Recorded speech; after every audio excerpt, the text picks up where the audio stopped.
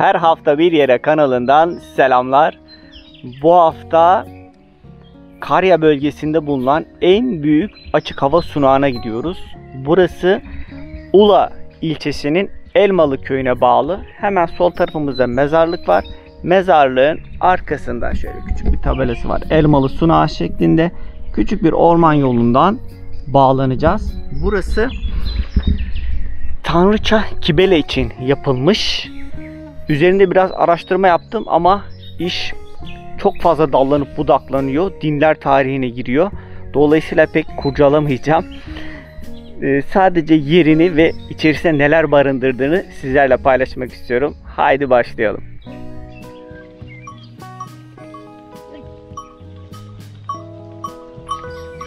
Selamünaleyküm teyze. Aleykümselam, hoş geldin. Hoş bulduk. Keçilerin videosunu çekiyorum senin. Çek. Nasılsın? Çok şükür teyze. Şunlara bak şunlara. Nereden geliş? Ben Dalaman'dan geliyorum teyze. Mobiletten. He. Korkmuyor musun? Niye korkacağım? Ay, ben de geçen ay dolaşıp gördüm. He maşallah. Nereye götürüyorsun bunları şimdi? Şimdi bunları oraya evin yanına götürüyorum. Benim ev bu tarafta da. Ha. Oraya götüreceğim. Orada tarlada yayıttım geldim. Şimdi oraya götürüyorum ben. Tamam. Burası ile ilgili bir şey biliyor musun teyze? Yok bu yıllardır böyle işte. Biz çocukluğumuz bu arada geçti zaten. Bu arada doğduk büyüdük. Hı. Yıllardır böyle bu daş. Ha, sadece taş var orada. Ha, başka- Basamaklar var üst üste değil mi? Ha, merdiven var. Tamam. Tamam. Çok güzel. Başka bir şeysi yok. Burada kurban mı kesiyorlarmış öncesinde? Evveli öyle diyorlar oğlum. Evveli nenem, benim nenem 86 yaşında öldü. Rahmet 35 eylesin. sene, 38 sene oldu öleli. Hı. Bu, e, bu tarla bizim, babamın. Tamam. Ha, orayı, bu özü, evveli özü var. Burayı gazdıran diyeken ha, iki tane birer metrede böyle birer ulaş derdin örük saç. Örük saç. Örük saç. Örülmüş. Örülmüş Aa. kadın saçı ceset içinde. Allah Allah. Hı hı. Hemen ünlemişler neneme. Bora gel, bora gel çabuk. Saçlar hiçbir şey olmamış diyor. Saç böyle kapkara uzak durur diyer. Örtüm üstündeymiş, örtüm. İşte Bora'nın tapınak diyorlar oğlum. Biz, ben bilmiyorum. Hmm, tamam. Zaten saçlar çürümez. Öyle Evet, bir özelliği var. kadın herhalde tapınağın sahibi neyse oraya gömülmüş. Oralar bütün mezarlıkmış efendim. Hmm. Ha. Sunağa aracınızı sokabilirsiniz. Şöyle bir orman yoluyla devam edeceğiz. Ben motosikletle geldiğim için şimdi sunağın olduğu yere kadar motorla devam edeceğim. Etrafında gayet güzel. Böyle sanki cennetten bir yermiş gibi. Şu kuş sesleri bilmiyorum size kadar ulaşıyor mu? Çok güzel bir sessizlik, sakinlik var burada. Hadi bakalım başlayalım. Motorla şu yoldan yukarı doğru çıktım. Yol biraz bozuk. Hani aracınızı sokabilirsiniz dedik ama rampa biraz kötü. Altı yüksek bir araçla ancak buraya çıkabilirsiniz. Ya da hiç bu riske girmeyin. Direkt yol kenarında aracınızı bırakın. Yürüyerek buraya gelirsiniz. 50 metre mesafe var zaten. Şimdi bahsi geçen sunak burada. Gördüğünüz gibi burada tam 7 tane basamak var. 1, 2, 3, 4, 5, 6 ve 7. Büyük ihtimalle basamakların devamı da burada vardı ama tabii ki zamanla kırılmış. Buranın önemi nereden kaynaklanıyor?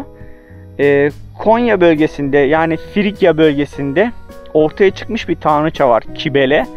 Bu Kibele kültü o kadar yaygınlaşıyor ki artık e, Yunan kültürüne, Mısır kültürüne, Akatlara birçok kavme bu kült yayılıyor ve dolayısıyla da burada da böyle bir e, sunak yapılmış. Hani sunağın anlamı ne?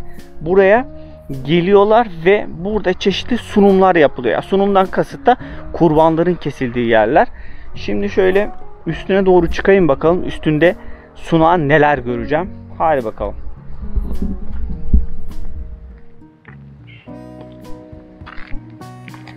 Şu an sunağın üzerindeyim. Tabi sunak ilk yapıldığında şu an daha farklı görünüyor. Üst kısmında düzleştirilmelerin olduğunu görebilirsiniz. Bakın burası tamamen düzleştirilmiş. Büyük ihtimalle burada o tanrıça Kibele'nin bir putu vardı. Tabii ki o put zamanla kırılmış, dökülmüş, mahvolmuş. En net görülebilecek, seçilebilecek yapı burada şu basamaklar. Aşağı doğru iniyor. Tabi böyle bir basamak varsa acaba diğer taraflarında neden böyle bir yukarı çıkmak için bir basamak ya da herhangi bir şey yok ya da tam olarak şekillendirilmemiş. İnsan merak ediyor tabi. Bunun altında da bir tane mağaranın bulunduğu söyleniyor ama nerede bilmiyoruz. Etrafı da biraz daha şöyle gezmek lazım. Sadece işte sunak burada deyip çekip gitmek de olmaz. Biraz keşfedelim. Çevrede şu şekilde. Bakın burada bir tane de ev varmış. Yığma taştan yapılmış. Şuraya bakalım. Şu aşağıya doğru inelim. Şu arkamda da yine bir kaya görüyorum ve sanki işlenmiş gibi. Ona da bakmak istiyorum.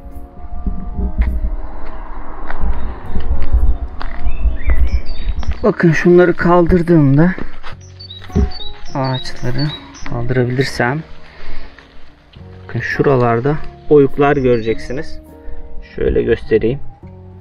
Yapılan artık kurban sunumunun kanları buradan bu şekilde aşağıya doğru akıtılıyormuş. Sağlam kalan kanallarda bu şekilde. Biraz daha şunları çekebilirsem. Evet. Bakın. Bunlar kanallar. Şöyle daha net göstereyim. Bakın kurban kanlarının akıtıldığı yer burası. Tarihi ne kadar eski? Milattan önce 500 yani günümüzden 2500 yıl öncesine kadar gidiyor. Buraya gelirken tam tabelanın olduğu yerde Sunay teyze ile karşılaşmıştık. Sunay teyze de burada hani artık geçmişlerinden duyduğu kadar bize bilgiler verdi. Burada işte kutsal sanılan bir yerin olduğunu söyledi. Aynı zamanda gömülü vaziyette olan o saç örgüler de açıkçası ilgimi çekti. Kayaya tekrar baktığımızda bakın sanki burada da basamaklı yapılar görülüyor gibi. Şurada da yine hop kurban kanlarının akıtılması için gerekli kanallar var. Şöyle sağdan doğru devam edeceğim. Şu araya da bakalım. Bu arada güneş yakıyor burayı. Şöyle bir alan var burada. Bu kiremit parçaları da nereden geldiyse artık. Evet. Alın size doğal olmayan bir kanal daha. Bakın burası el işçiliğiyle şurada görüldüğü gibi tamamen murçlarla kazılmış. Şurada da bir oluk oluşturulmuş. Şöyle biraz daha geriden göstereyim. Bakın murç izleri yani bu duvar düzleştirilmiş. Şurada görüldüğü gibi bir kanal var. Bu kanal nereden besleniyor? Bakın şurada da yine bir kanal var. O halde burayı besleyen bir şey olması lazım. Yukarıda bulunan bakın şu otlar eğer temizlenebilirse bunun üstünde de belki bir kurban sunak alanı olabilir. Bakın mekan böyle. Şuradan aşağıya doğru iniyor. Basamak basamak. Tabi zamanla buralar iyice kapanmış.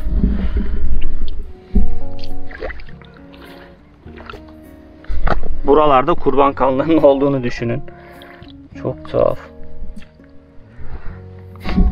Evet. Bir tane bulduk.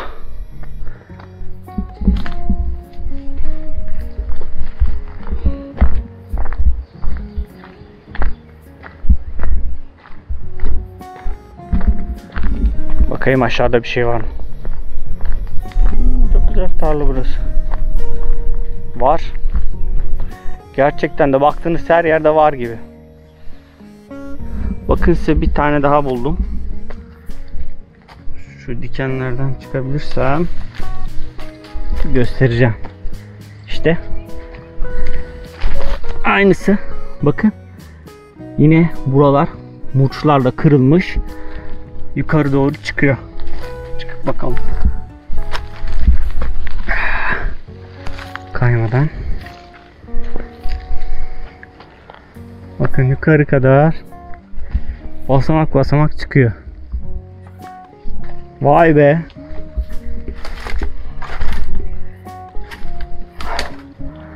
Hani sadece oradaki kayayı bulurum. Başka bir şey bulamam diye düşünüyordum ama şuraya bakın. Wow.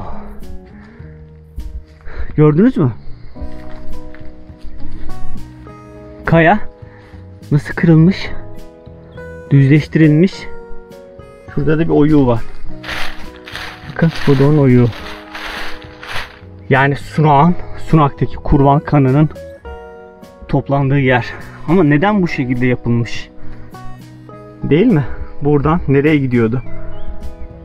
Şurada da su kanalları var. Daha doğrusu kan kanalları olması lazım buradan. Akıtılan şey eğer kan ise bakın kanallar burada. Girişteki tabelada altında bir tane mağara bulunduğu söylenmişti ama mağarayı henüz ben göremedim.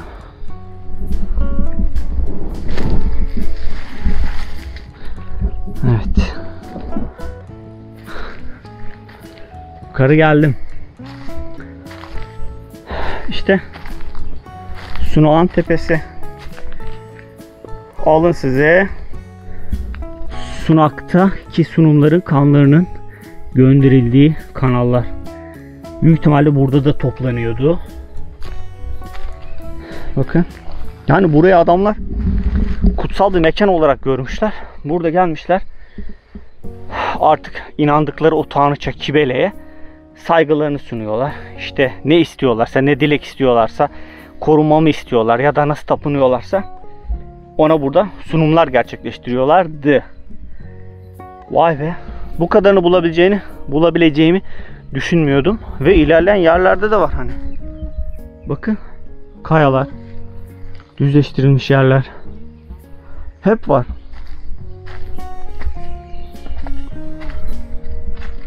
Şurası da zaten ilk kayaya çıktığım yerde. Basamaklı yerde. Tabi burası otlarla, dikenlerle dolu olduğu için buradan geçmeyeceğim. Geldiğim yerden döneceğim. Ama bu kayaları böyle sanki kutsallaştırmışlar. Çok iyi ya.